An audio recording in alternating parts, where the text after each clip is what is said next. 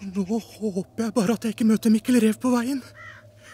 For han er fryktelig.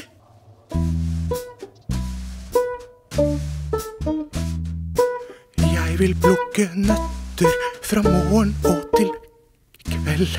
15 til min tante og 20 til meg selv.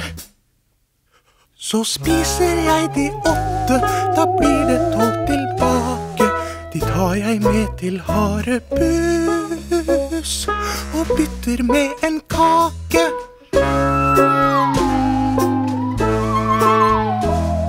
De tar jeg med til Harebus og bytter med en kake.